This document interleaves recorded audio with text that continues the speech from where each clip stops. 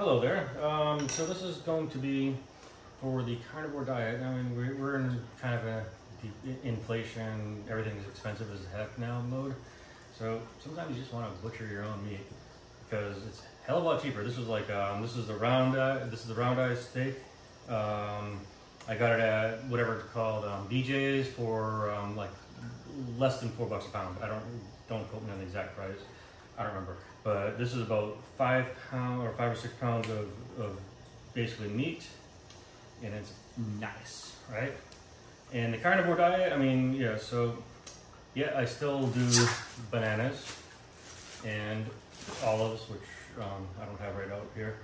But what we're gonna do is prepare it by butchering and cutting off some of this weird, like, skin substance. I'm getting a little, I'm not a professional butcher, so, and a lot of you watching probably amateur butchers too. So this is what it looks like when an amateur actually does this stuff. A butcher has a much sharper knife. I've got sharp knives too and everything, but you just want to get kind of this weird tendony thing off because um, this doesn't do any really good for the meat. But it actually will, you know, dogs and stuff will love it. They'll, they'll eat that stuff right up. Um, just kind of grab the stuff out here. Yeah. Now, the reason why I'm doing a carnivore diet is it, it makes real a lot of sense in nature. Um, just because, you know, we're humans, right? And we're walking around like, you know, before industrialization and everything, and we had we had grocery stores. You're just walking around, you got a farm going, you got some animals grazing and stuff, and you're taking care of them. They're taking care of your your waste products like uh, corn husks and stuff. And so animals and humans have a, like a very symbiotic relationship all through our existence, right? I mean, you don't have to be a Bible reader to know. I mean, you, I mean, I'm not, you know, I'm not going to go all religious on you, but even God gave us dominion over the animal kingdoms, which doesn't mean destroy them, doesn't mean enslave them. It just means, you know, live in harmony with nature. And so by living in harmony with nature, we take care of the animals, the animals take care of, they, they eat all the food, all the fats and stuff, all the grains and leftover stuff that we can't eat. And then they give us food. And then they, a couple years, 10 years, five or 10 years later, they give us food. Or they become our food. I'm probably cutting off a little too much of this fat because I want to save some fat because we also need fat in our diet. Uh, especially if you're in a carnivore diet, you need to actually eat more fat. And from basically what's going on is is your body your body basically generates bile which breaks down the fats and everything. This is just kind of and fats are actually an essential part of your diet. I'm gonna put this in a tray here. I'll probably feed this to, to my crows later. Um, I don't have crows in captivity, as I said, living in harmony with nature. That is a waste product that I'm not going to throw away. That will go to the, the wild crows outside of, outside of where I live. Um, just because I live in a city doesn't mean I have to be an asshole to animals, right? Uh, just animals need to live too, and by feeding the crows, they take care of other things. Like they keep the uh, the mockingbird population down, which are building nests inside of our heating vents. So I'm gonna I'm just doing a kind of a lazy job here, but this all this stuff needs to go away. And I'm not gonna waste any of this meat. Jeez, the crows are gonna eat like kings this week. Um, there we go. And I do this once. This is about this will last me about a week. So now, yeah, I'm not like. There we go. Okay.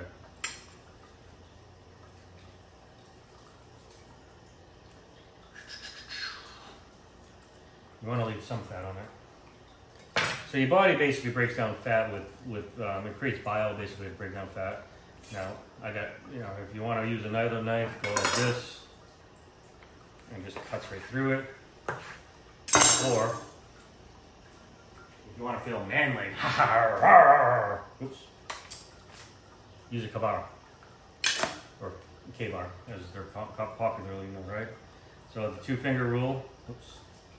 Let's turn this little sucker on. I'm left-handed right here, so let's turn the sucker around.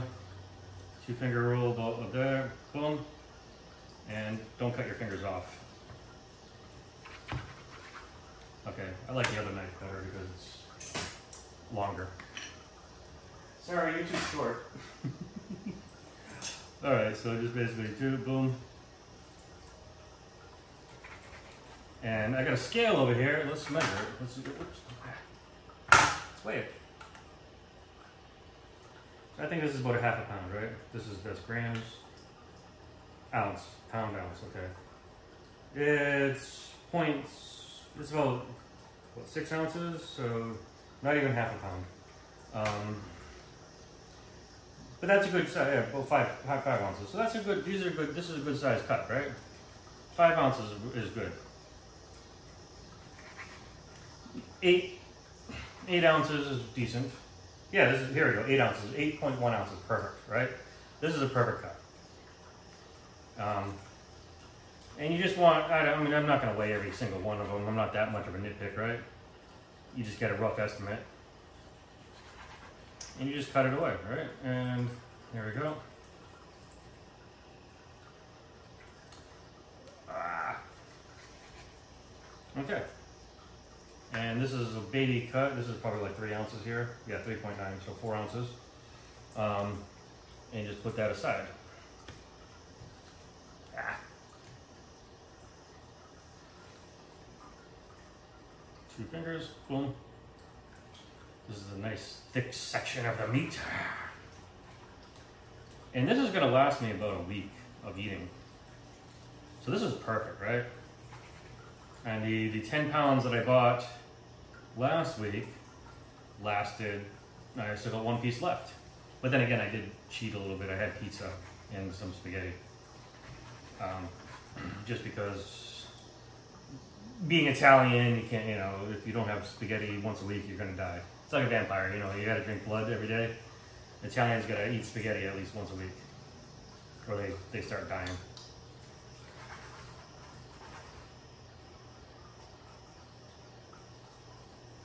And, uh, so, this is it, basically. I'm not gonna lie to you on my time scales here. Now, the preservation part comes in handy. I'm done with the knife. Just give it a quick rinse right now. So, now we gotta preserve it. How are we gonna do that? Okay, we got a nice, nice, nice board of meat. Boom. The scale can go away. I gotta wash this later. Um, so I've got, yeah, this is actually last week's meat. It's still, still good, still cookable because it's properly preserved. Okay. So what I'm gonna do is, and I washed the bin out actually, and I took the meat out. Um, I'm not sponsored here. So black bearded bearded butchers. These guys actually are what inspired me for this whole thing, right? So I'm gonna layer the bottom part with that, and I'm actually gonna coat these guys over here. Um, just a very surface level. I'm gonna do this again later. In fact, I'm gonna stop that. Um, now I'm gonna actually a little bit of olive oil on the bottom of the pan, right? Just a little bit, just a splash. And the olive oil actually has a very important use. This guy needs to come out and go on the top layer. There we go. Yes, it's on a clean plate. Because I gotta season the bottom of it. Now a little bit of sea salt, right? So the sea salt just kind of keeps the, the moisture levels. Adds, it enhances the flavor of the meats. So I'm just gonna lay these in here like this. Oh, shoot. And yeah, um, Italian. so yes, I love me some. Uh, I love the balsamic vinegar on my on this on my meats, right? And just a little bit, just to cover the bottom of the barrel. It, this will actually mix with the juices that are going to start coming out because of the salt. So as the salt extracts the water from the meat, it's going to bring the water out, and it's going to actually kind of in the waters and the salt and water flavoring is going to start going back in. It's a fancy word called osmosis, right? So basically, the, the it's reverse uh, reverse osmosis, really. And these little baby pieces, they get a little spot right here in the middle. Look at that, perfect. Okay, so that's layer one, right? I got one, two, I got three, I got a couple more pieces to go. So, just a little bit of layering here. And this also has a lot of salt in it too. So this seasoning is really good for, um, for your meat. And as long, if you season this two hours ahead of time, it's going to be the most. Uh, I'm, I'm not even joking. This has probably been made the best damn steak I've ever had in my life. I'm not even. I, I'm not even. These guys ain't even paying me. They, I don't. Even, they don't even know who I exist, right?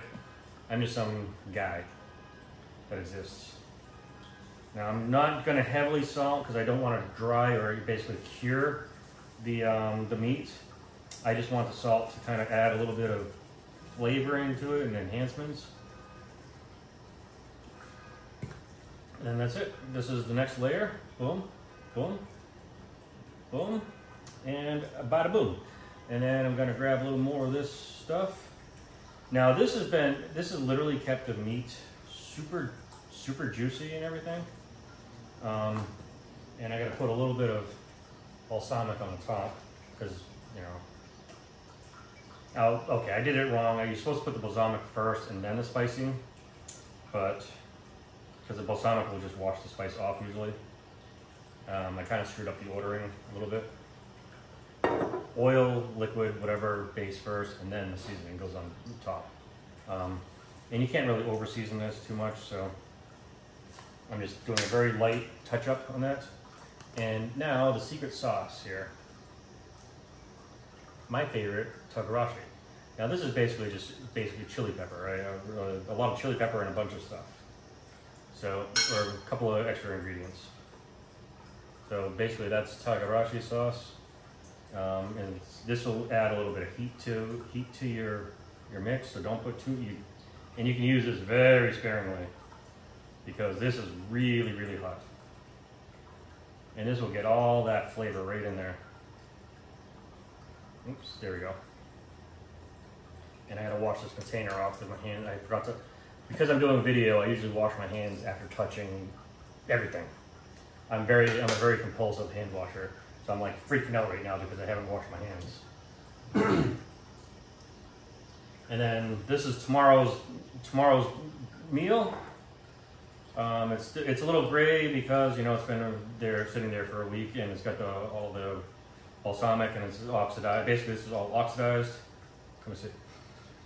There's no, there's, yeah, it's mostly, I can smell the vinegar in there. There's no smell of rotting yet. So that's still a viable piece of meat, even though it's a little ugly looking. Um, it's all red, it's nice and red. I, I can assure you it's red, nice and red on the inside still because the salt and the, uh, and the extra preservatives have added in.